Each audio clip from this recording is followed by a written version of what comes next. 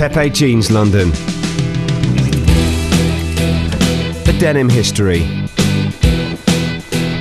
In a time when fashion brands were made less by marketing science and cold cash, London designer Nitin Shah and his brothers, Arun and Milan, started running a stall at Portobello Market every Saturday, customising and supplying jeans with good design, quality fabrics, and different finishes. In a few years, they had four stalls in the market and opened up their first boutique in Kings Road. It was called Saint Tropez Trading Company. But one day, Nitin Shah thought about changing the name to a shorter and more snappier, easier, two syllable name, and Pepe was born. Pretty soon, they'd be ditching the full time jobs in favour of operating their business from a 25,000 square metres warehouse and set up new office spaces in London. By 1980, Pepe Jeans London was rivaling with all the big US brands for number one spot in the marketplace becoming the UK's most successful jeans brand ever and began to take its first steps into new international markets.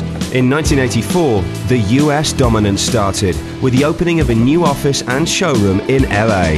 The same year, the brand launched in Ireland. In 1986, Pepe Jeans hired the hottest fashion photographer of the decade, Bruce Weber, to shoot its biggest ad campaign to date, and fueled by an appetite to articulate its message in a sexy and engaging way. Cinema and TV commercials soon followed, and each campaign has left an indelible mark in the annals of fashion advertising. In the 90s, the brand continued its expansion trail throughout Europe to include France, Italy, Germany, Spain, Holland, Portugal, and Switzerland, which are some examples of countries where the brand grew vastly during the decade. By the start of the new millennium, Pepe Jeans London had confirmed its reputation as one of the biggest brands in the denim market and has continued with maverick photographers, directors, and advertising faces destined to become the stars of tomorrow. In the last few years, the brand has expanded into emerging territories such as Latin America and Asia and has launched new lines including the rock tinged premium denim collection 73 in 2002. Kids wear in 2004 the Andy Warhol by Pepe Jeans collection, which launched in 2007, and more recently, the Teenagers collection, Portobello by Pepe Jeans.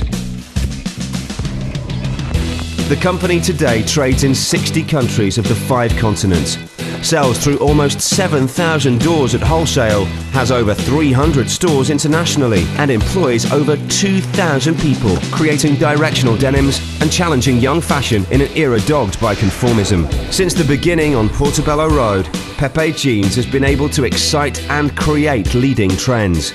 With no doubt, this winning formula will evolve in the coming years to keep on delivering one of the strongest denim led fashions in the world. Welcome to Pepe Jeans. Welcome to our world.